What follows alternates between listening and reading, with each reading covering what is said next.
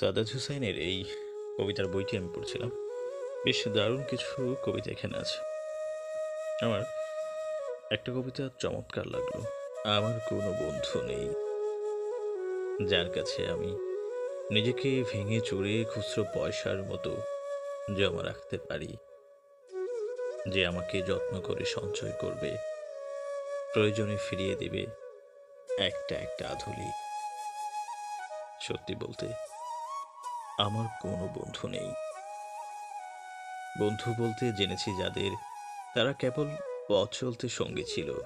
দূরের পথে ট্রেনে যেমন থাকে, পাশের সিটে গল্প হয়, আড্ডা হয়।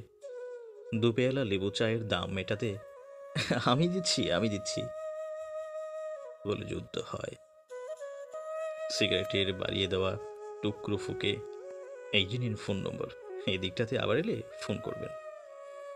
বলা শেষে, অচেনা এক স্টেশনে উদাও হয়।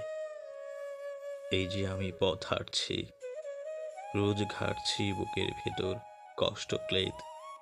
এই যে আমি ক্লান্ত ভীষণ, বুকের ভেতর জমছে কেবল দুঃখের মেদ।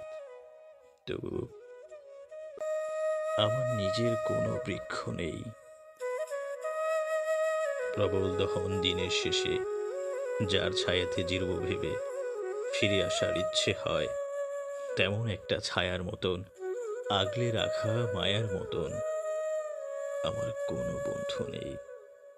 একলা দুপুর উপুর হলে বিষাদ ঢালা নদীর মতন, একলা মানুষ ফানুষ হলে নিরুদ্দেশ এক বদির মতন।